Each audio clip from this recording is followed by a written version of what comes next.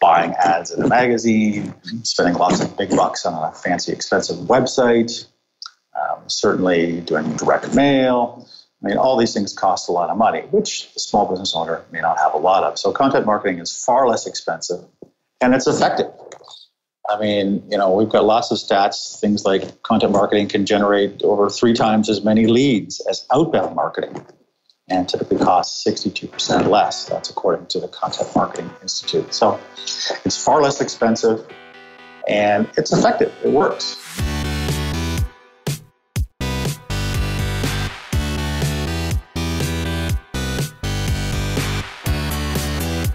You're listening to The Successful Bookkeeper with your host, Michael Palmer. Listen each week as inspiring guests share their secrets of success to help you increase your confidence, work smarter, and build a business you love. This episode of The Successful Bookkeeper is brought to you by PureBookkeeping.com, the proven system to grow your bookkeeping business.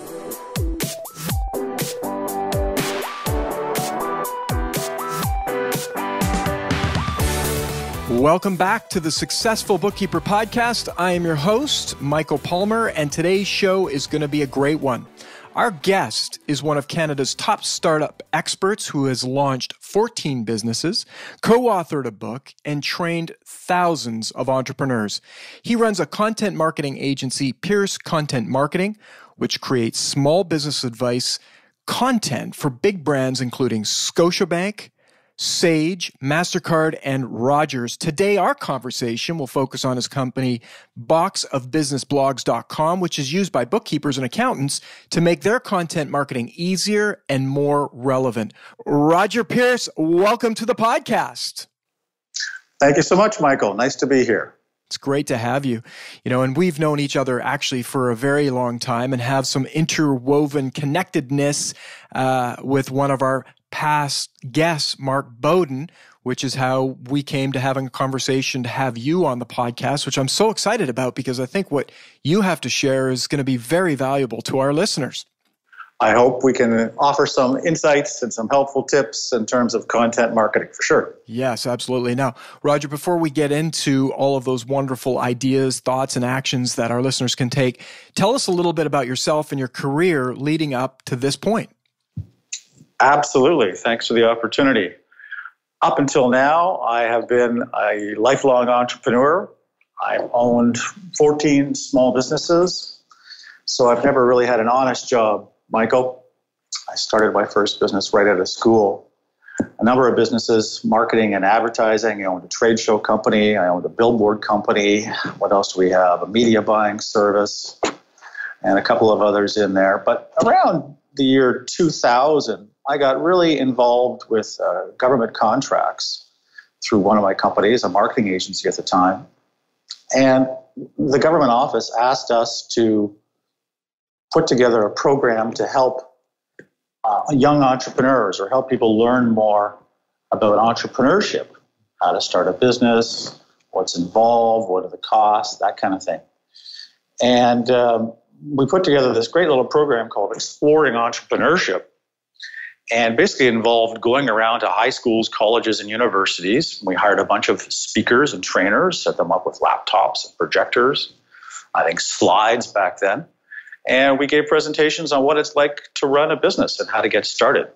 Basically, and there was a website too that backed up the whole thing. So a young person and graduating from high school or graduating from college or university could go out and find information about, hey, what's this career path called entrepreneurship? Because at the time there was a void. There was a lot of industry professionals out there talking about careers in nursing or trades or engineering or becoming a doctor or a lawyer. Those groups were well represented, but there wasn't anyone speaking too much about entrepreneurship. So that led to a series of companies. I co founded a company in 2003 called BizLaunch, which I sold to my partner back in 2011. BizLaunch was a small business training company. I think you and I met sometime around that, that period too, Michael.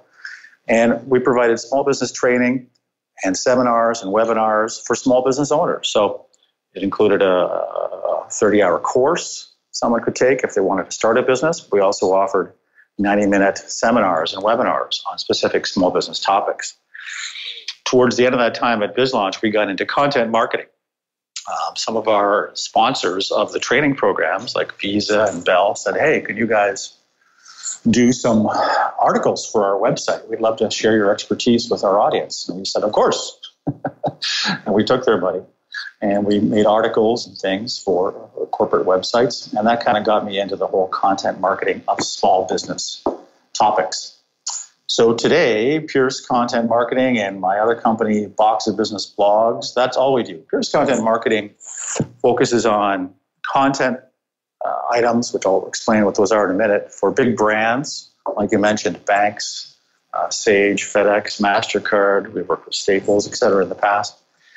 And Box of Business Blogs is more of a service for the actual small business owner, primarily bookkeepers and accountants, where they can go in and subscribe for a very few dollars a month and get um, articles that they can post in their social media channels.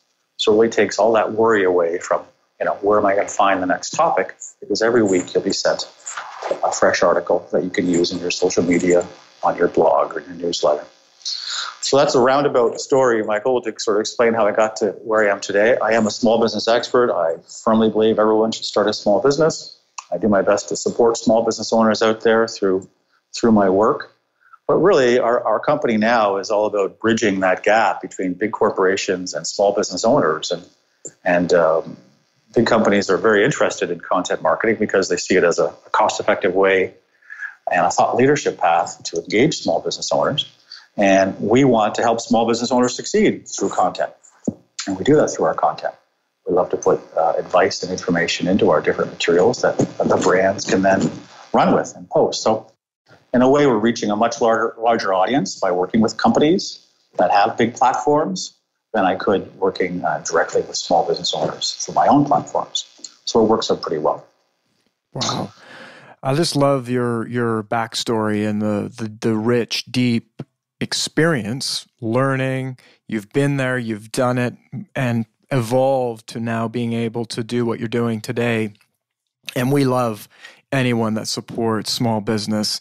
So I know our listeners are loving the fact that we are having this conversation because they are they are you and they're also people that can really I think benefit from learning from you and and as well you've you've worked a lot with organizations that are in the bookkeeping and accounting space. You're you're currently doing a lot of work with Sage. Is that correct?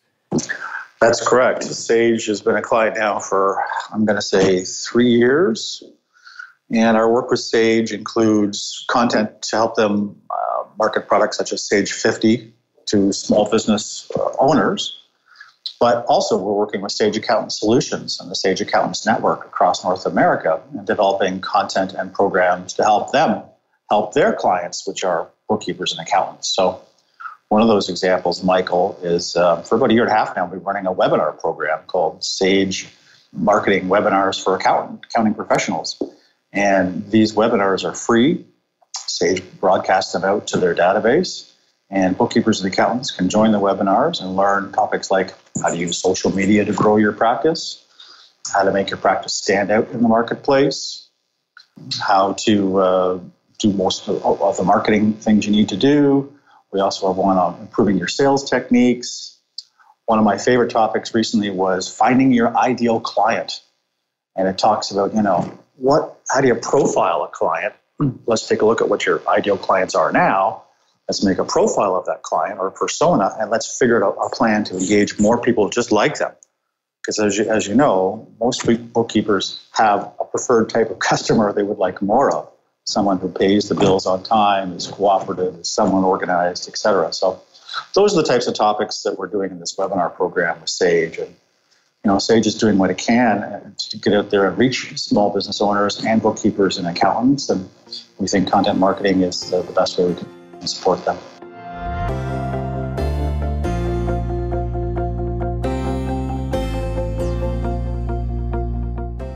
Awesome. And that we will have definitely links to, to, for our listeners. I'm sure there's many listeners going, Where do I find that? How do I get more information? So the link will definitely be in the show notes. Uh, and I and I love, you know, you're you're helping an organization stimulate really the usage uh, in small business of their product so that bookkeepers that work with Sage 50 can actually have customers to go and work with. So you're you're you're helping all many of our listeners right now you you know it's one of those things that most people would probably not even be aware of but there's many people that are in the ecosystem of business and how business gets fulfilled and marketing and how it gets sold. So interesting from that perspective. But let's get into content marketing. So many of our bookkeepers may not even know what content marketing really is. So what is it? Good question. Great place to start. There's lots of different definitions. You know, to me, the simplest one, it's about demonstrating your expertise, sharing information, providing helpful tips and advice, and, you know, not being salesy, not, not focusing on the pitch just yet. So, for example, a blog is a form of, of content, an infographic, you know, a visual illustration of a topic.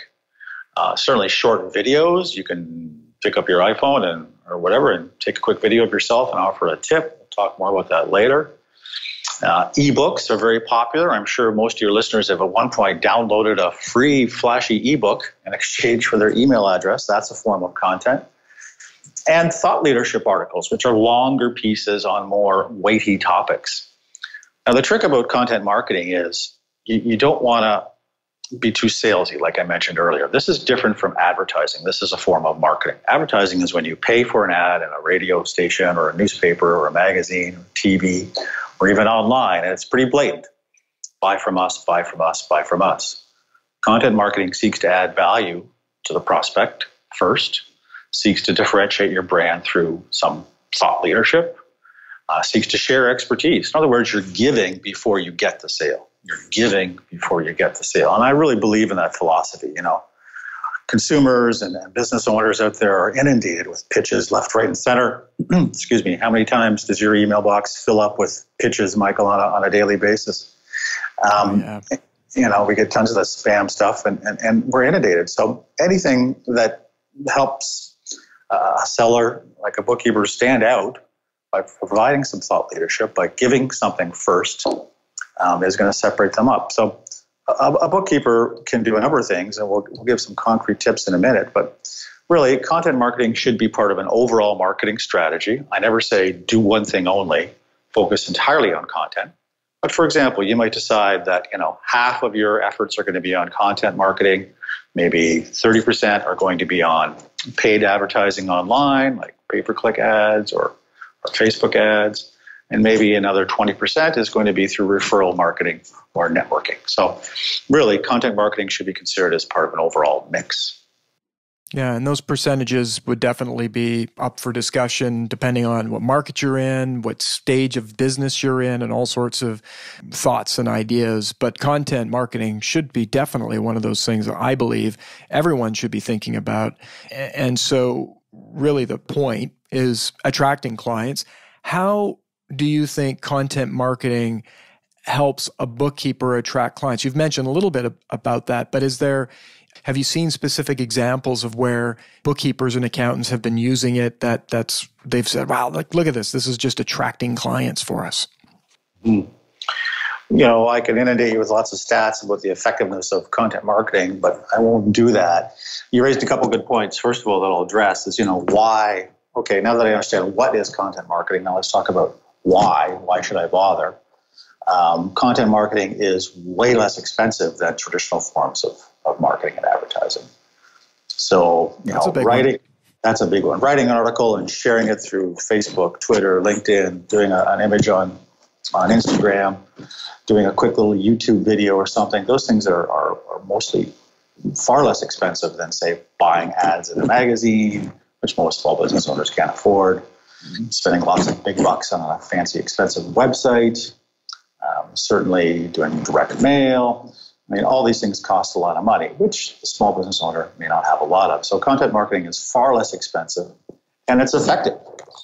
I mean, you know, we've got lots of stats. Things like content marketing can generate over three times as many leads as outbound marketing and typically costs 62% less. That's according to the Content Marketing Institute. So it's far less expensive And it's effective, it works. I'll give you an example in terms of a bookkeeper. So let's say a bookkeeper offers some tips through their blog. Um, perhaps the article is about, you know, three easy ways to organize your, your documents for tax time. So that's a good kind of piece for a bookkeeper. It's relevant to what they do. It's offering some advice. It's sharing some thought leadership. Uh, and, you know, it helps the business owner who's going to read that save time and maybe save some money. Those are things entrepreneurs are looking for online. Entrepreneurs, by the way, want to, they search for topics online about marketing and sales, how to make money. They search for topics uh, online, how to save, save time and save money, and how to be more efficient. So, three easy ways to organize your life uh, for tax time. And you offer those three tips. And maybe you talk a little bit about using software or using an app like Receipt Bank or how to organize physical receipts, doing it well in advance, whatever the tip might include. You post that article, post that blog on your website, and it's easy to put something up. Most website services these days have a built in blog publishing platform, or you can use something like WordPress that attaches pretty easily to most things. And uh, then you start to share it to your Facebook channel, your, your LinkedIn channel, Twitter feed, and uh, any other channels you might you might have as well. And what happens is, you know, someone will read that article and go, "Oh, this is a useful tip," and then they'll share it out to their network. So that's one thing that traditional advertising can't do.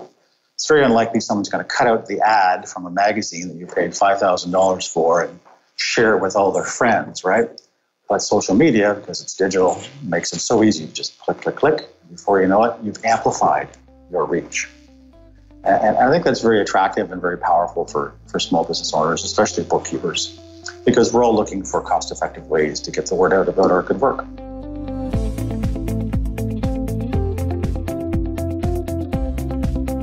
Yeah, be- and beautiful. And it, and it is getting the word out, but there's, as well, as you've mentioned, it's also being valuable to people, which puts you on the right footing for doing business with somebody. They they get to they're getting to know you and they're getting value from you before they maybe even have met you or interacted with you. They're already uh, the bank of value has already been a couple of uh, dollars have been dropped in that bank, and so the anybody who comes at you from a content marketing place is going to be in a better place than many other forms pay per click, um, you know, advertising, uh, even a referral, right? Uh, so I think that that part of it is really exciting. Now, many bookkeeping business owners they don't have a lot of time, and and maybe even the writing because I know enough to know about content marketing that not all writing is going to be valuable. It takes it does take a little bit of talent to create this type of content and then there's, you got to implement it, you got to get it out into the world. How can they overcome some of these barriers? What you're talking about there is what's going to be my content marketing strategy, and how do I, I, I, find enough time in my day to stick to it? And, and you've raised some good points. So, just some basic basic advice to begin with. Number one, making a commitment to content marketing as part of your overall marketing strategy. That's key. So let's say you decide you're going to do an article a week. Okay. Um, you're going to allow an, an, hour, perhaps, a week to write that article, or if you want to use a service like ours, selfless plug here for boxofbusinessblogs.com, but we'll send you the article ready to post. And by the way, a good article, Michael, should be, I'd say, three to 500 words. This shouldn't be an essay. It should be uh, short and sweet, to the point, lots of white space, lots of bullets. Small business owners love to read, you know, quick points. So top three lists or four or five points or, you know, five ways to set aside money for taxes or three ways to speed up your receivables. Those types of things are, are what entrepreneurs will, will respond to.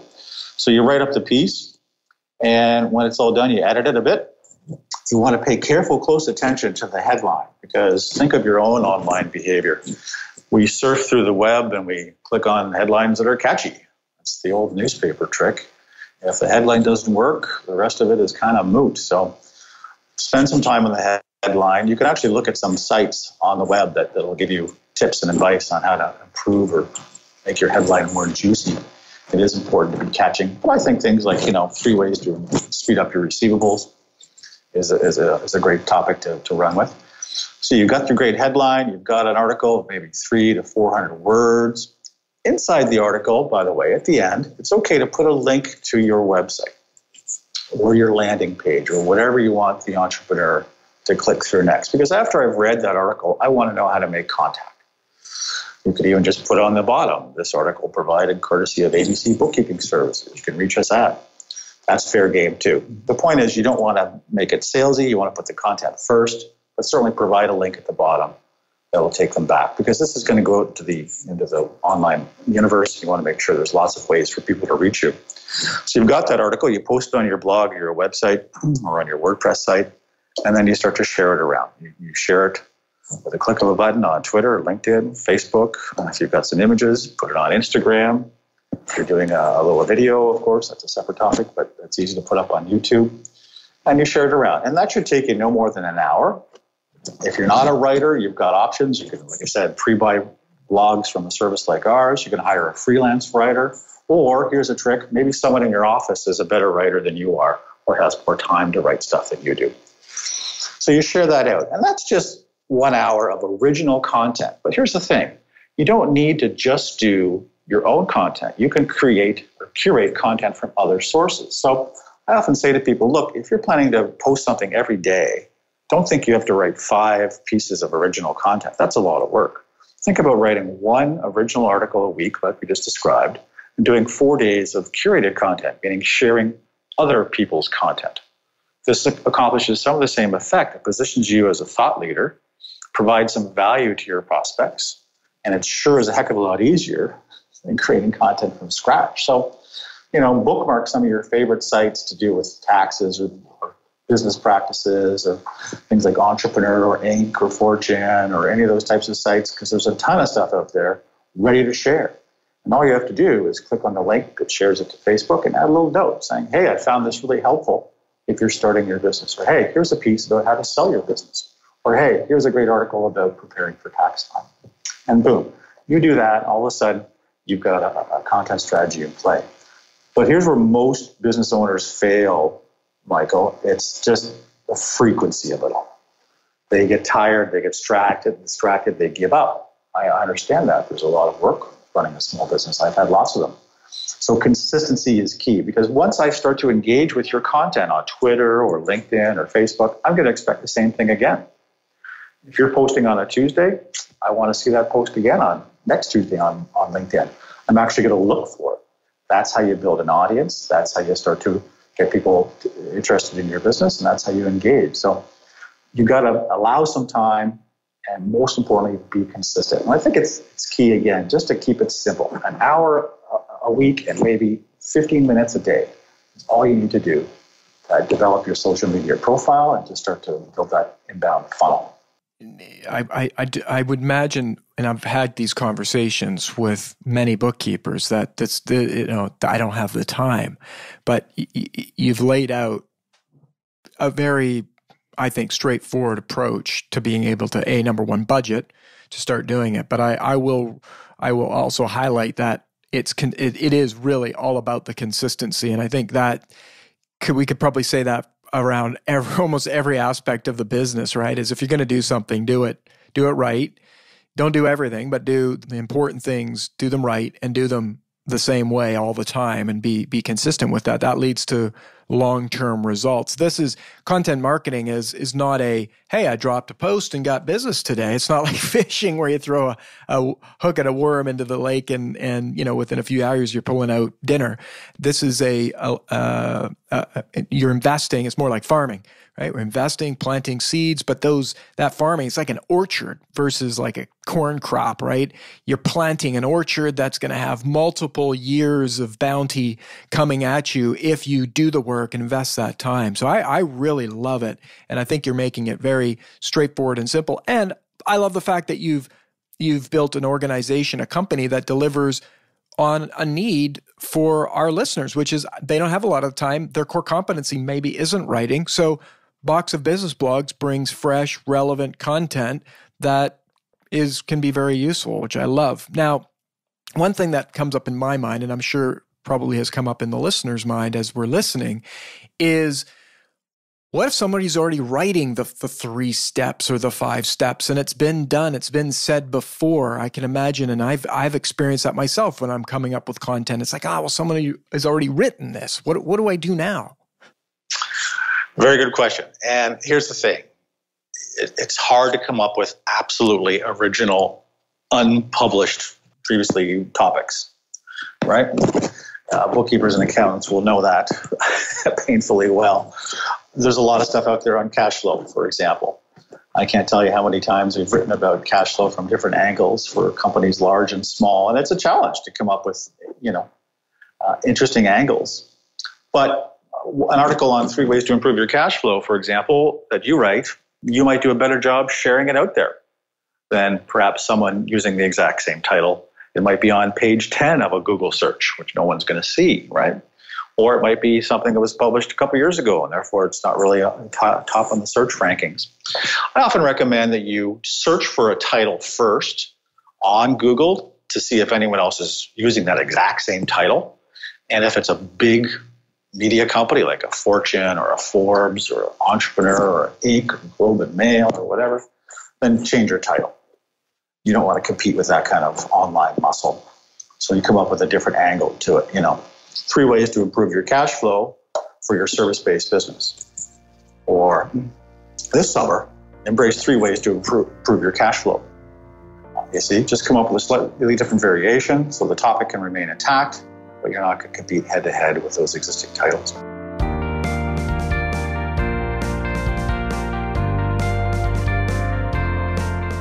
I love it. I love it. And and the content probably could have a similar. You could uh, attack it the same similar way in that the content could come from you know what to do when it's summer around that particular topic, or find some other angle that you weave into the topic that makes it more unique towards your your readers or your whoever's going to consume that content and for yourself. Seasonality is a great way to mix it up I forgot to mention one key point too, and, I think you you mentioned it uh, there a second ago. But profile your audience, profile your target customer. I mentioned earlier some of the work we're doing for Sage. We did this this webinar on finding your ideal client, and that's really what it's all about for social media too. Before you begin to write anything, before you make any videos, before you create any infographics, you've really got to start with your end reader or user in mind. So, who is that person or that company you're trying to attract? Are they local? Do they earn $100,000 or less? Do they earn 100,000 to a million dollars? Uh, how big is their operation? Do they have five employees or 50? You know, what industry are they in? All these things are going to help you shape the content and develop the content specifically for them so it addresses their pain points and therefore increases the chances of them reading it. Next, you want to make sure you build your online audience Facebook, Twitter, LinkedIn, etc., around those target target uh, markets. So, you know, if I'm trying to get more business in the transportation industry, say, say trucking companies, I'm going to make sure I follow um, all those people on Twitter and, and get, find out their Twitter handles and do a little bit of digging and make sure that i have got them on my social media channels and see if they can follow me back, right? It's also okay to send out your blog of catering to the trucking industry to that association or to people in that in that industry and say, hey, here's a piece I thought you might be interested in. And maybe they'll start to sign up to your social media channels as well. Yeah, those are some great, great ideas, great thoughts. And I'd really like to make sure we get the link to that webinar that was done on finding your ideal uh, ideal customer because I, I, mean I think that's almost should be required training before anybody does anything in business. I mean whether it's what we're talking about today, content marketing, but how you serve your clients, how you do all, all uh, think about all, all aspects of your business. The more you can be clear on who you're serving, the easier business will be for for yourselves. Now, Roger, we we've been really dipping our toe in the pool of content marketing as well. I know of uh, an accountant in in Australia who has built marketing content programs for you know, like a book, and you've mentioned some of these books, podcasts, all sorts of other things. Like there's all sorts of content that been can be created, but this is really the the the pathway into all of that and I think applies to, you know, a unique business and a unique person that wants to go that angle. But it can be very powerful. Do you have any examples that you'd like to share?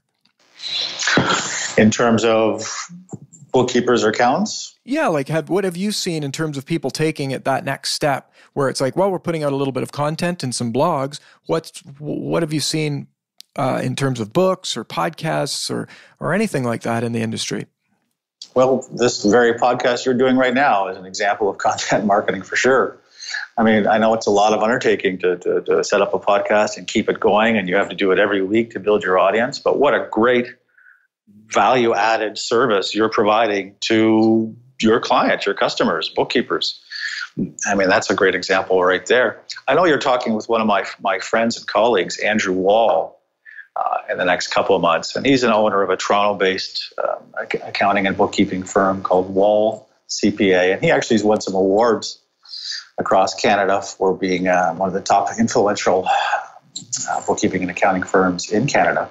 And he just dominates social media. He's got like tens of thousands of Twitter followers and LinkedIn, et cetera. But his platform is video. He loves to do videos, right? He provides video tips.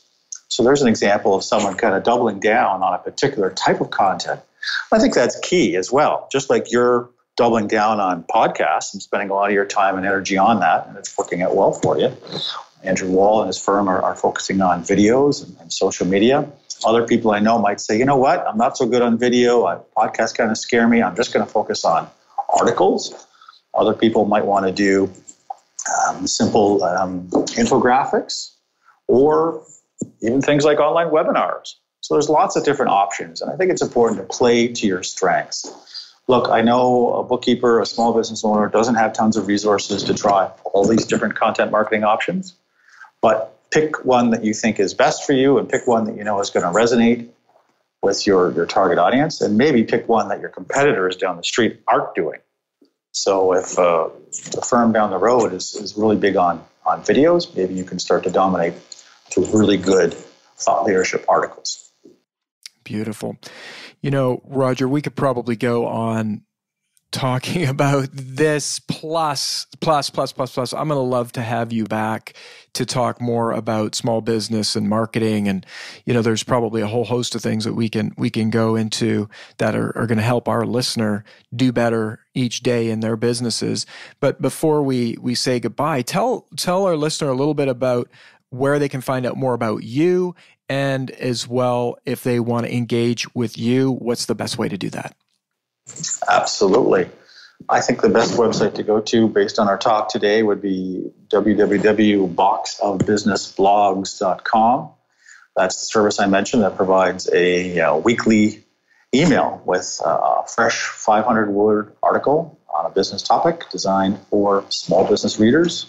So it's perfect for bookkeepers and accountants and financial advisors. And it costs just $39 a month, and that gets you a blog a week.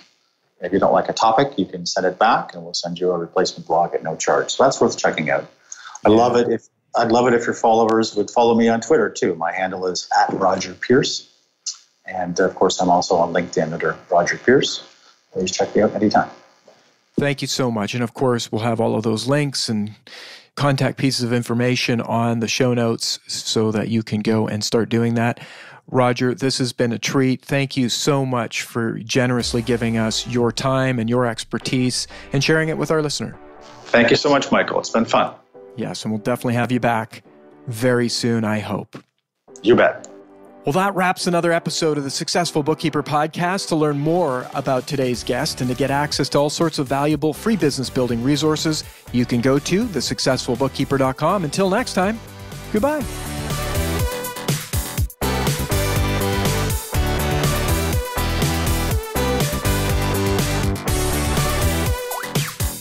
You've been listening to The Successful Bookkeeper with Michael Palmer. For more information and to download the resources mentioned in this episode, please visit us at thesuccessfulbookkeeper.com. Thank you for listening.